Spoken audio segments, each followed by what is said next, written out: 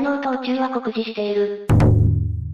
2012年11月、宇宙の成長過程と構造、大脳細胞の形成プロセスと構造が非常に似ているという論文が、A 科学誌ネイチャーに発表された。上の2枚の写真、ネット写真がニューヨークタイムズに掲載された。左はネズミの脳細胞の配列状態で、右が宇宙の構造である。初期の宇宙の中で星団が相互に繋がっている状態は、大脳神経ニューロンが互いに繋がっている構造とほぼ同じように見える。菌類の増殖が首都圏の道路網と酷似した形状ってのと同じ理由かな。最短距離でネットワークを構築すると、必然的にそうなるというモデル。あれは完全なとんでも研究だろ。いや、実際色々ある。効率の良い道路を作るシミュレーターを走らせたら、今の道路とそっくりなものができたとかなんとか。鉄道網とそっくりになった実験だね。年金使ったやつ。年金のコミュニティが鉄道の路線と同じになったってのと一緒だろ。この形が最も効率が良かったと。都市群の形成や流通網の図は宇宙と酷似している。そりゃそうなるべくしてなってるだけでな。合理的なデザインというかな。インターネットの全体像もこんな感じ。本当に似ているのか、人間がそう見ているだけなのか、その違いは微妙。この宇宙も想像を絶する超巨大生物の脳内なのかもね。俺は宇宙って想像もつかないくらい巨大な生物の細胞じゃないかと思ってる。その生物、もしくはちょうど自分たちの宇宙のある細胞部分が死んだ時が宇宙の崩壊。自分たちの宇宙は気の遠くなるような時間をかけてきてるけど、その巨大生物にとってはまだ誕生して数年とか数十年かもしれん。時間の感覚が全く違う世界なんだろう。逆に俺自身の細胞の中にも宇宙があるんじゃないか。ってことは俺たちの頭の中には小人が住んでて、俺たちも巨人の脳の中に住んでるってことか？大脳は宇宙のように膨張しない。大事の大脳は膨張するよ。我々が宇宙と呼ぶ巨大な大脳を持つ生物は、まだお母さんのお腹の中にいるのかもしれないね。フラクタルとかそういうやつじゃないの？詳しくはないが、こういうのは大体フラクタル。ミクロとマクロはなぜかフラクタル的で一致する法則。量子力学と意識とか。よくわかんないけど、この宇宙が神の脳内ならロマンのある話だね。神様、おいらの想像力が足りなくて宇宙がスカスカになってもたわ。ごめんな。たまに宇宙と交信してる人を見かけるけどあれは内なる宇宙との会話だったのか。腸内細菌の中にも、俺は宇宙オアカミ、つまり人間と交信してるんだとか言って、周りにバカじゃねえのって言われてる奴がいるかもな。大腸菌だってまさか自分が動物の腸の中、しかもうんこの中にいるなんて思ってもみないだろうし。俺らミトコンドリアかよ。確か銀河のない領域をセルとか言ってたような？宇宙全体を一つの生命体として考えるのは昔からか。適当に分布してるものは全部同じに見える理論だと思う。どっちもランダムに分布してるだけ。えーと、今や銀河を形成する原動力は銀河の中心に座す超ブラックホールさんの無茶ぶりだってわかっているんだが、大脳のどの辺にブラックホールがあるんすか？で、宇宙にもニューロン並みのネットワークがあると主張したいのか？脳と宇宙、銀河系ネットワークが同じで、宇宙全体が生命体だと仮定したとしても、一つのパケットの情報伝達に何億光年もかけてちゃ効率悪すぎねえか？多気温がある、ということかもしれないよ。効率が悪いったって、今の人間の時間空間スケールでのことだからな。宇宙から見たら何億年かかろうが大した問題じゃないんじゃね？広がり方が同じような物理法則に従っているってことでしょ。なので宇宙の広がり方から脳神経の広がり方を推測したり、逆に脳神経の文化から宇宙の広がり方を推測したりはできる。ただそれだけのこと。宇宙は相似形であるというのは、古代から知れ渡っていることだよ。そりゃどっちも同じ自然界にいるわけだからね。同じような道をたどり、同じような構造になるのは自然なことだろう。大脳と宇宙ではなく宇宙の全てが小から大まで同じ原則で動いてるということ。大脳と宇宙は酷似している。そりゃそうだろ。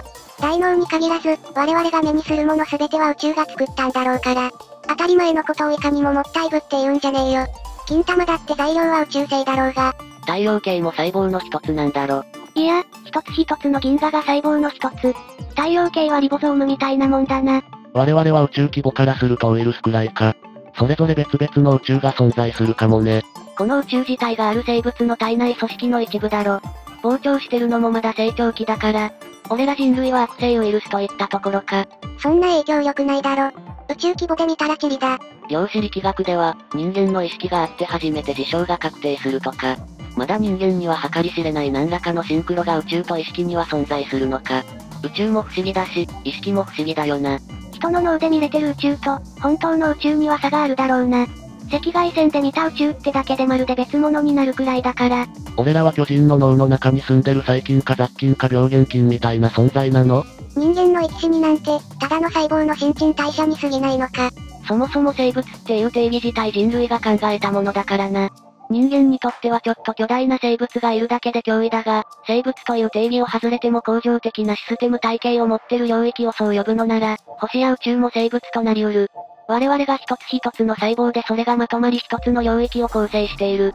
そう考えれば、果てしなく巨大なコミュニケーション体系が存在していると仮定してもおかしな話ではない。まあ何にしても夢のある話だな。そういう視点を持った天文学者がいたら面白いだろうな。似ているってだけで論文になるんだ。単に違いを理解できないだけだろ。お題の画像左右で全然違うじゃん。通貨大脳に限った話ではないでしょ。あらゆる原子とか素粒子とかが宇宙を思わせる。たとえそれがミミズであっても。宇宙が脳に似てるというか、脳が宇宙に似てるんじゃね。そもそも宇宙っていうものと、我々人体を含めた物質すべてとを区別しなきゃならない理由って何？ビッグバン理論だと、宇宙は無から生じた極小の1点から膨張してるんだから、宇宙空間の中身にあるすべてが元は同一の1点だった。ミクロとマクロが等倍非常になってるのも、そりゃそうっちゃそりゃそうだよな。ビッグバンで宇宙ができたから時間の流れもできたとかも聞くし、もう何が何だかわからねえよ。宇宙の外側は無と聞いたことがあって、何もない世界とは何なのか？と非常に悩んだ時期もあったけど、何もないから考える必要もないということを理解して納得できた。脳出血が新生生むんか。つまり宇宙全体もゆっくり何か考えてるってわけか。宇宙が脳だとしたら、宇宙はどんな夢を見るのだろうか。しかし脳ってのは不思議な存在だよな。どんな精密機械よりも精密だし、分かってない機能もまだまだ多いそうだし、自分自身ですら、自由に動かそうとしても動かせない。謎が多い。そういう意味ではまさに脳は宇宙ですよ。大脳に似てる部分もあれば海馬に似てる部分もあれば色々だろ。宇宙が壮大というだけ。ただしなくす構造は似てるかもな。プラズマに置き換えられる。宇宙は重力によるダイナミックな動きもあるから、そういう意味では動かない脳とは似ても似つかない。人間って嫌な記憶の方が色濃く残ったりしないか思うんだが、人間の記憶もコンピュータのデータみたいに人間に選んで消せたら便利いいよね。まあ、間違って消しちゃったら困ることもあるけど、それができないってことは、そういう記憶も人の脳にとっては必要な情報ということか。それについては、敗した嫌な記憶によって、それを避けるようになるのでそっちの方が生存率上がるんだって。現代のような人間関係のさまつな傷つけは以前に、自然環境の中で怖い目を見てそれを避けるという個体が生き残ってきてるので、だから脳の学習や記憶はそっちが優先された作りになってるんだって。今のところはね。広い宇宙の一つの構成要素として地球があり、人間がいて、その部位として脳が存在している以上、似たとこがあるのは当たり前。月とたこ焼きってまん丸で似てるよね月を採掘したらタコ出てくるかな？銀河系と目玉焼き似てるよな。だから何？って話じゃん。何かしらのネットワークのようなものが構築されるのに共通した法則があるかもしれんってだけの話。この法則を発見できたらノーベル賞だぞ。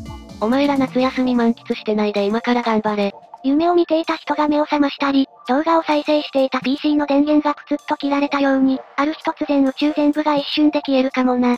宇宙のこと考えるとまだまだわからないことだらけな気がするけど、実はもうすでに今わかってることのほとんどが事実で全てだったりするかもしれんよね。そうだとすると人間の知能はすごいすごすぎる、って思うけどそうでもないか。この程度の全てなら、